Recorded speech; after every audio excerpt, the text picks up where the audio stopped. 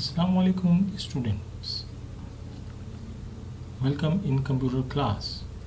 My name is Ijaz and I am your computer teacher. And today our chapter is computer system organization. The topic is input, process and output. First I explain sample system diagram input an electric kettle is filled with water plugged into the socket and switched on. The second step is process.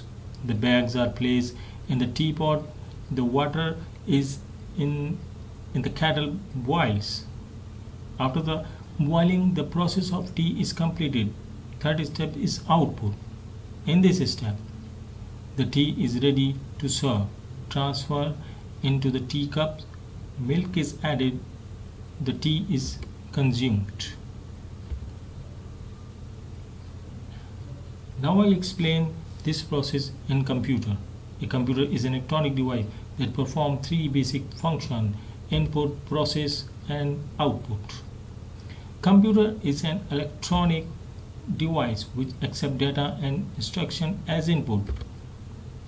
Process and store the data give the result as output computer divided into three basic unit input unit central processing unit output unit. Now i explain units. We tra we transfer the data in input unit through input devices. The devices are keyboard mouse joystick etc the central processing unit solve the data with the help of cpu and alu and save the data in storage devices. The devices are magnetic disk, hard disk, USB, etc. The last unit of output. In this unit, our data is ready to see. On output devices, the devices are pointer, printer, or plotter. In the last, the process of data processing cycle is very simple. Input unit is used to enter data into computer processing task plays in the processing unit.